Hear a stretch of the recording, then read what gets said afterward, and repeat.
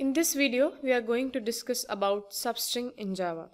Now, firstly, we all know that strings are nothing but basically defined as an array of character.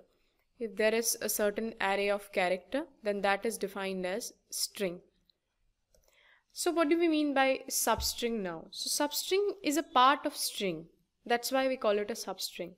In other words, substring is subset of other string the Java substring method, in Java string class, there is a method. Substring method returns a new string that is a substring of any particular string.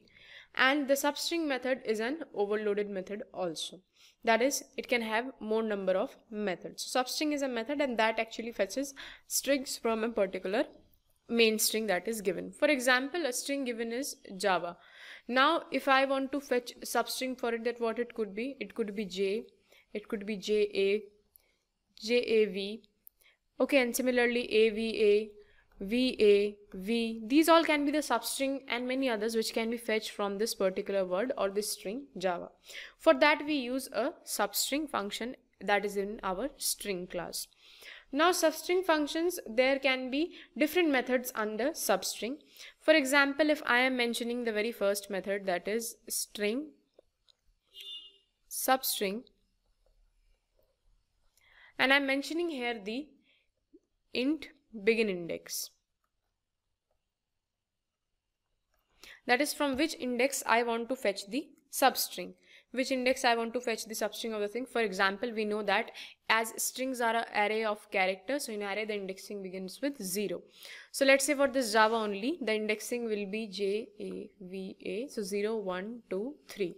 So if I want to fetch a substring from 1, so I can give here that string substring 1. So it will fetch or start giving me substring from one index or the first position of this particular string. That is from the begin index it will give me. And we know that index starts from 0. So we have to keep that thing in mind that indexing starts with 0.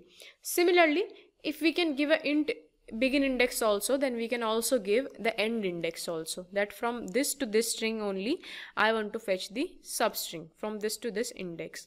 What we have to do for that? We have to give int begin index and lastly I have to mention the end index. That from which last index I want to fetch the string for example, if we give that uh, public uh, string substring method we initialize and then we mention a begin index that from this to this position we have to fetch the string. For example, writing this particular string substring, then I write in the particular str substring or any other thing, I give the index that I want to start fetching from first position and end at second. So it will give me from that particular place or that index only that which substring I want to fetch. Now this is how we can fetch a substring from a string now let us see that how can we write a program to fetch all the substrings which are there with the help of substring function that is substr function which is there in Java with using this particular method. How can we do that? So firstly, after creating a class, you can create with your own name whatever class you want to mention. And then we have to execute a for loop. But before that, what I will do is I will initialize a method. And that will be static void substring and then I will give string str int n. These are the two parameters which I am passing in this method or this particular function to print all the substring.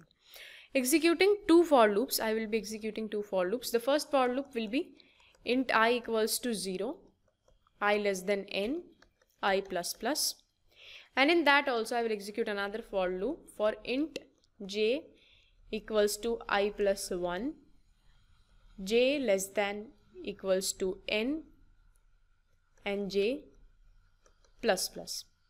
So this will print me what this particular function when called will do. It will print the substring from index i to j which we will mention or which we will give of a particular string and how it will do that it will compare with the length in the string when I have discussed about the string and string functions video we have discussed about a function dot length so it will fetch the complete length and then it will return me a substring. So in the void main method, for example, if I initialize a particular string, let's say string s equals to, I give any string such as a, b, c, d, e.